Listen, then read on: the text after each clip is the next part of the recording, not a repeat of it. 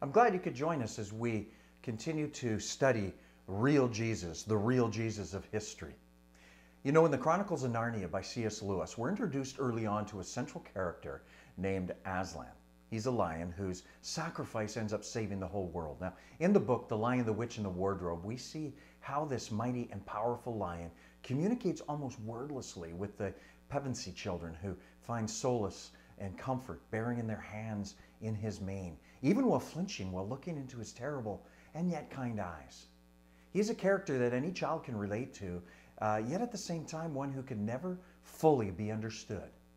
In Narnia, Aslan is a character, it seems, that resists these neat packaged characterizations. Now, closer to home in our world, if anyone resists neat packaged characterizations, it's Jesus. Only those of us who know and love Christ understand how it is possible for us to find solace in Him and at the same time flinch at His majesty, to find both comfort and challenge in His words, and to love and fear Him all at once. The aspects of Aslan that captivated us as children are the magnetic qualities that I think draw us to Jesus today. Now, as we jump back into this series from Mark, we'll be looking at the real Jesus of history as revealed in the gospel. And as we do, we'll discover that Jesus is not predictable, yet trustworthy. He is sometimes surprising in what he says or does, and yet he's deeply meaningful and purposeful in every move and every single word. This evening, we're going to explore him cutting against the norm when, when choosing who he chooses for his team to go on mission a mission that'll eventually turn the world, and by the way, continues to turn the world upside down. Now, when you or I choose a team, we naturally look at and uh, for the very best, the most talented, or the smartest people, or the most talented people to join our team. But one of the most amazing markers of the ministry of Jesus is the type of men that he chose to be his disciples on his team. He chose a small group of confused, unqualified, and unknown men to walk with him and even one of them betrayed him to death. And he chose them on purpose to be the leaders of his mission to make himself known in the world. Yet, in spite of their weaknesses and in spite of the fact that they were quite simply just ordinary guys, Jesus picks them for his starting lineup on his mission engaging, people transforming, history changing team. Now, LifeBridge isn't a church with a lot of political clout. We don't have very many social influencers. Nobody at our church that I know of is of direct noble birth. And by the way, speaking of noble, I don't know if anyone has or even will win a Nobel Prize. The bottom line is that we are a church of relatively normal, average, common people. And you know what? That's not a bad thing. It's just an it is what it is thing. But what my point is in pointing out the obvious is that if Jesus can use the common average guys that he chose as his first disciples and in three years transforms them into a team that through the power of the Holy Spirit turns the world upside down for his glory, then that means then that he can certainly use us too. And that gives me great hope today about trusting God to do great things in us and through us here at LifeBridge as we trust him to go out on his mission. Well, let's start by looking at verse 7 of, of uh, Mark's Gospel, uh, chapter 6. And he called the twelve and began to send them out two by two. And he gave them authority over the unclean spirits. Now let's just stop there for a moment. The first thing I want to point out is that a disciple uh, really should expect to be sent. Now, Jesus came on mission, he lived on mission, he died on mission, and left his disciples, including all of us who follow him today, on mission. And that's because we're not saved to be saved, but saved to be sent. We're saved to go out into the world for the glory of our Jesus to make him known as our Lord, Savior, and our greatest treasure.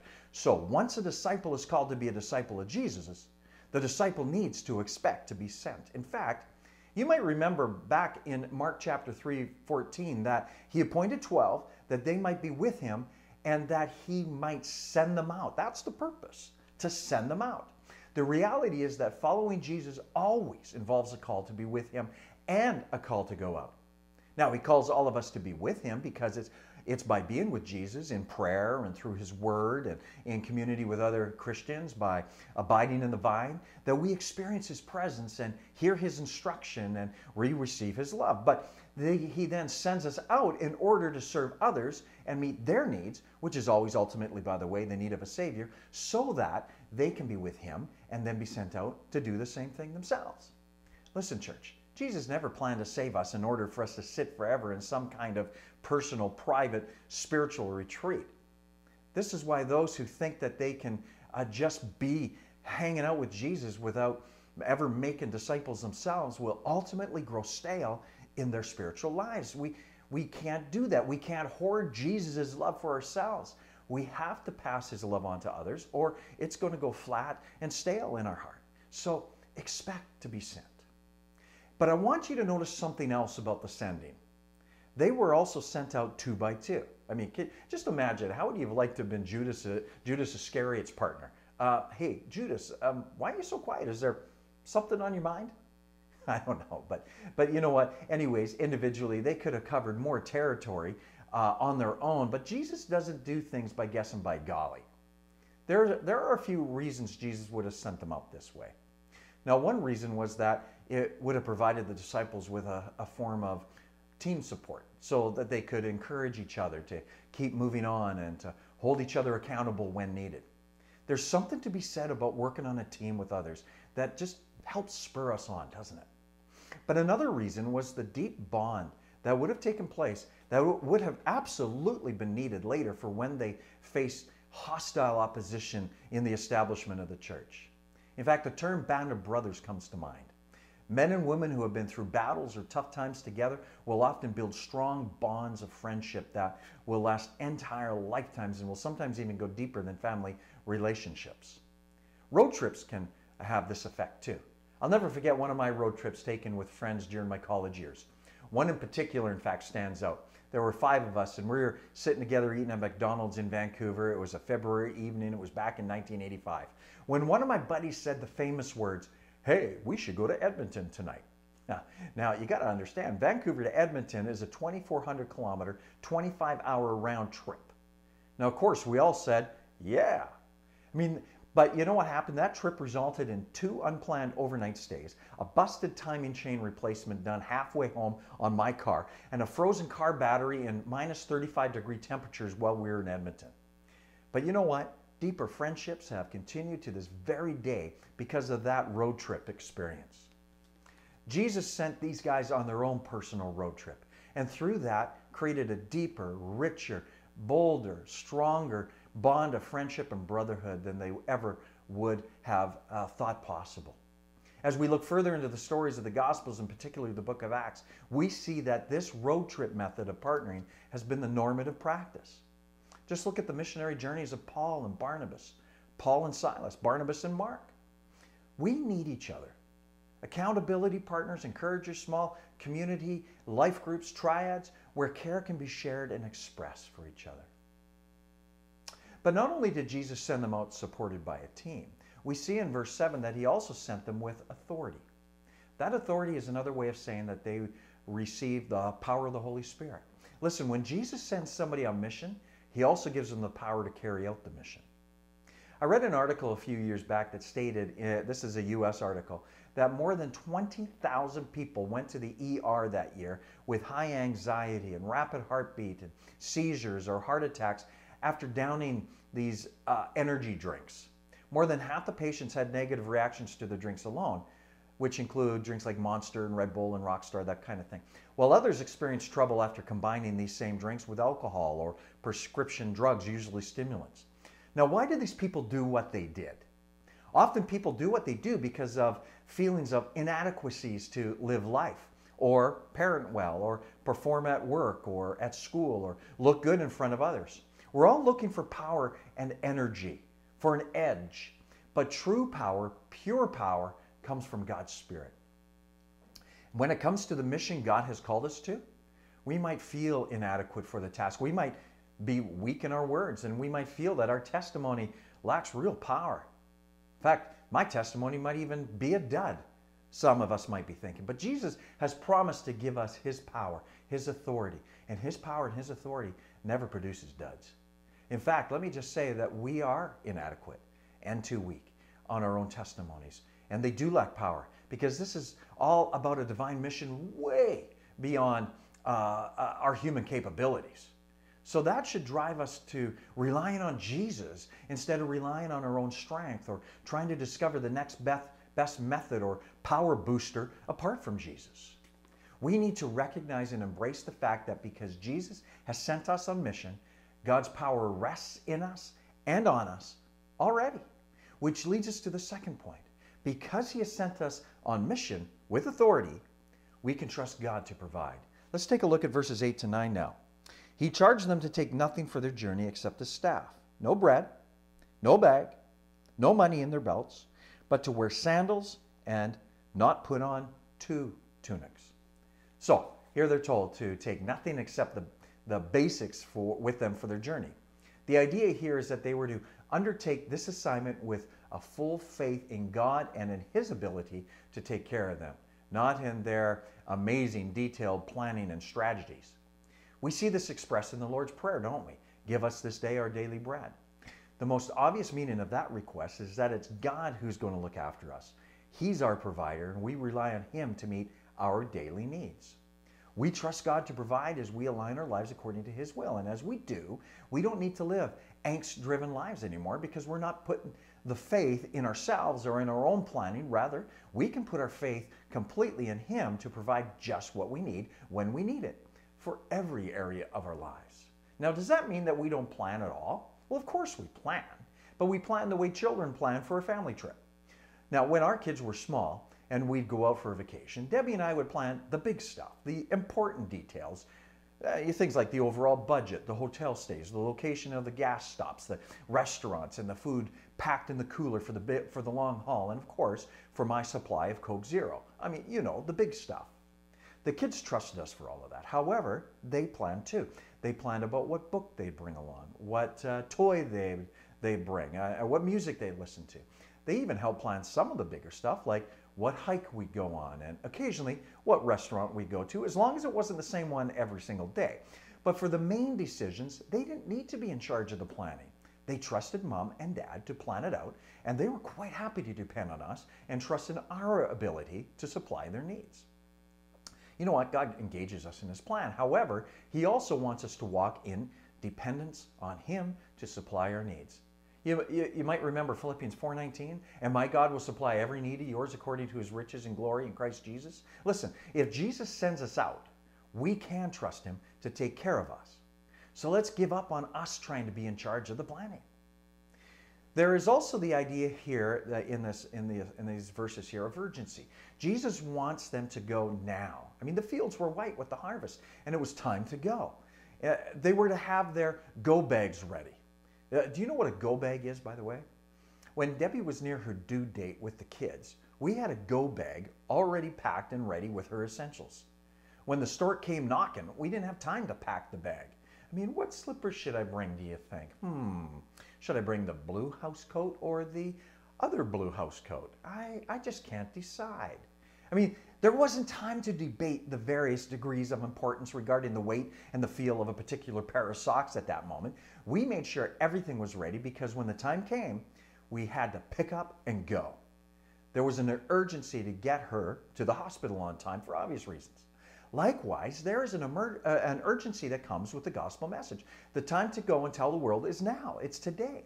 And we get our gospel go bags ready by being in the Word, regularly spending time in prayer, hanging out with God's people and community, and learning to disciple others in the process. In other words, knowing Jesus, loving others, and making disciples. But also in the verses here, we see that even as they urgently go, they're to go humbly. And we see that expressed in that they were to take only one tunic or, or one coat. Now, in that day, it was usually just the rich who could afford two coats to, to begin with. And Jesus was sending them out as common men into a world of common people. They were not to put on airs and come across as though they were better than the people that they encountered.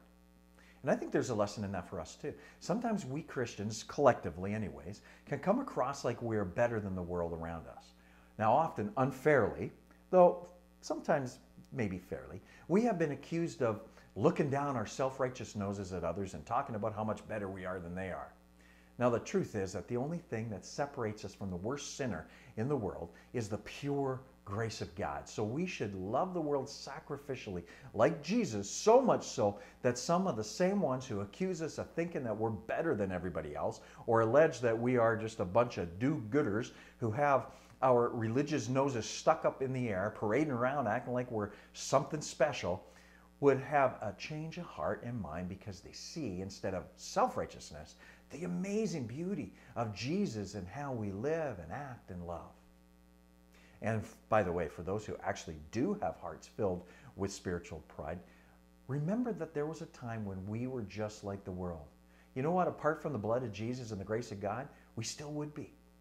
There, but for the grace of God go I. Which is why we can and will want to commit to invest in the lives of other people. Let's take a, uh, a look at verses 10 to 11. And he said to them, Whenever you enter a house, stay there until you depart from there. And if any place will not receive you, and they will not listen to you, when you leave, shake off the dust that is on your feet as a testimony against them.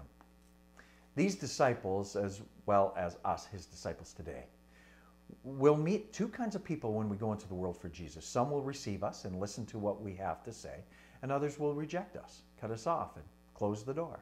Now, if they listen, Jesus says, don't leave too quickly. Stop, stay, and invest where the Word of God is welcomed. Don't, don't feel the need to move on to another house and another house and then another house or another person and another person and another person. If they'll have you in this gospel, be willing to stay with them a while. That's the meaning behind these words whenever you enter a house, stay there until you depart from there.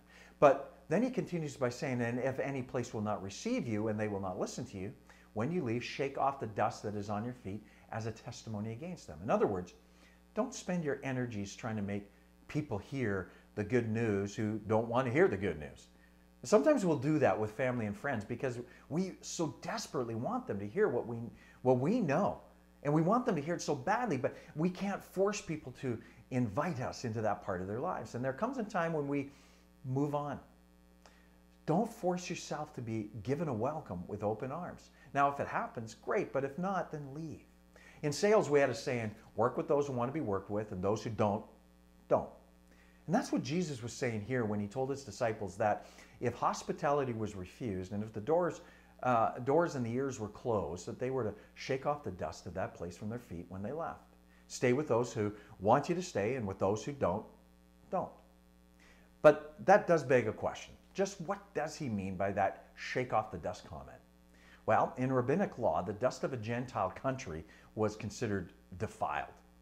And when a man or a woman entered Palestine from another country, he or she was to shake off every single particle of dust of the unclean land off of their clothes and off of their shoes and everywhere they could uh, from that foreign nation that they um, had just come from. Shaking it off represented a separation from the pagans and the pollution of their land since the foreign nations weren't part of the Jewish kingdom, they were of a different kingdom. Uh, listen, if they had hand sanitizer back then, I'm sure it would have been made available at every single border crossing.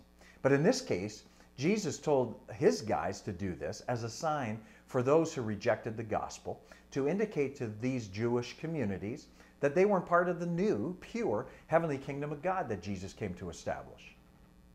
The main point of these two verses is that we need to make room in our day, our month, in our moments to share the gospel with others and then make it a priority to sit with those men and women who receive the good news. Don't be in such a hurry that you can't patiently invest or disciple where God is moving in their ears and hearts of those people around you. We must invest in discipling others who receive the gospel that we share. But also to remember that the gospel doesn't spread through forcing it on others. If people won't receive it, move on to those who are ready to embrace Jesus. And speaking of moving on, the fourth point is that we are to proclaim repentance. Take a look at verses 12 to 13. So they went out and proclaimed that people should repent. And they cast out many demons and anointed with oil many who were sick and healed them. If I went to, uh, around downtown Halifax to let people know that they didn't meet up to my expectations and so they need to repent, how do you think I'd be received? Who cares about your expectations would be the polite version of their response, I'm thinking. Who do you think you are? Might be another polite response. People don't care about my moral code and message of repentance. So it's important to understand that the disciples brought Jesus' message of repentance, not their own. In fact, the word proclaimed is literally the word used when describing a herald's proclamation. When the apostles went out to preach, they didn't create a message, they brought a message. They were the heralds of the king's message. And as heralds, they did not tell people what they believed and what they considered feasible. They told people what Jesus had told them. It was not their opinions they brought, it was God's truth. Now, as heralds of Jesus, they preached that men should repent. By the way, that word repent means a change of mind that leads to a change of action. Clearly, that's a disturbing message to the average person. And it's bound to hurt because it involves the bitter realization that the way we were following is wrong. And that is precisely why so few people actually do repent. I mean, the last thing most people want is to be disturbed, but it's bound to disturb and hurt for that matter because it means a complete reversal of life and a doing something different than what you were doing before in your sin.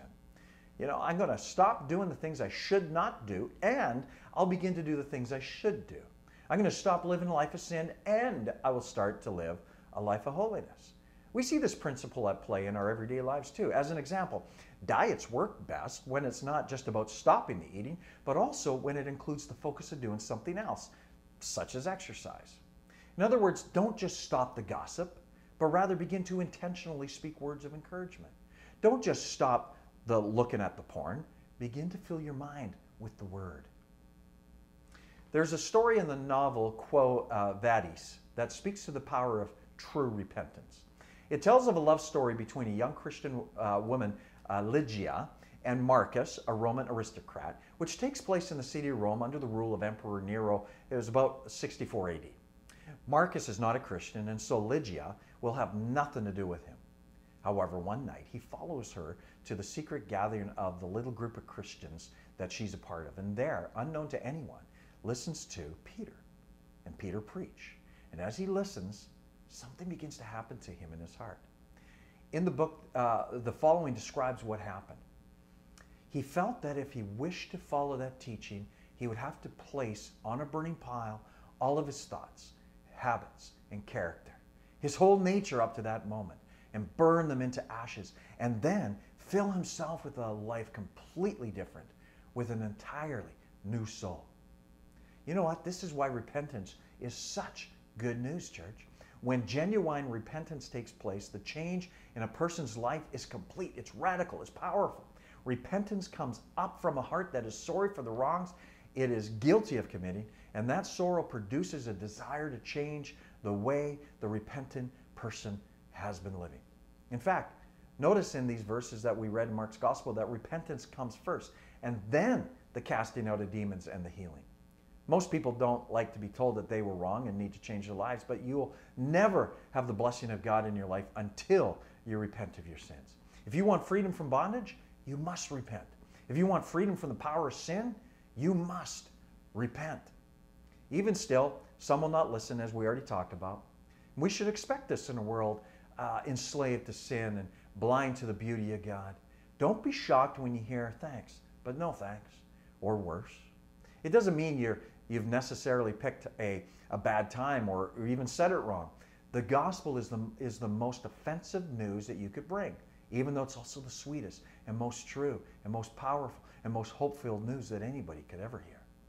This is the news that says, listen, you are wicked to your very core, broken in every way, and destined for unending wrath at the hands of an all powerful God, and your only hope is in one message and one man, no other. So repent. No wonder the world so often laughs at or screams at Christianity and hates the message that we bring. But remember that it's not our job to be a, a gospel empowered, divinely sent sales force. Jesus didn't tell the disciples to stay until their audience surrendered. No, he said some will listen and others will not. He's not sending you and me to save souls, but to speak as his representatives. He and he alone is the one who saves and heals and transforms and casts out demons and frees people from addictions and from bondage. In fact, our commission is not to make people hear our message, it's not to create listeners and convert them, but to discover them, those who hear and repent and make Jesus their Lord, and then and then after they're discovered to make disciples of them. Now, we don't know how long the disciples went on this road trip of theirs, but it seems like it, it wasn't long, and there were only 12 of them, just six sets of two. That's smaller than some of our life groups. So, how, how much could they have really gotten done? Well, verse 14 says this that King Herod heard of it, for Jesus' name had become known. They went out, six pairs of poor, ordinary, untrained, unlikely spokesmen, and what God was doing through them rose to the attention of the highest official in their land. Through their small and simple ministry, Jesus' name became known in that city. Jesus will reveal his fame even through his breadless, bagless, penniless, but faithful followers. And you need to know, church, that God will exalt the name of his Son through us as well. The bottom line is that Jesus' name will be known and believed, and he will be made famous in our city too. We just need to expect to be sent, to trust God to provide, to commit to invest in the lives of others, and to proclaim Jesus' life transforming message of repentance to those who will listen so that they might know Jesus, love others, and in turn make disciples too. But first, let it happen through me. And let it happen through you. And let it happen through LifeBridge.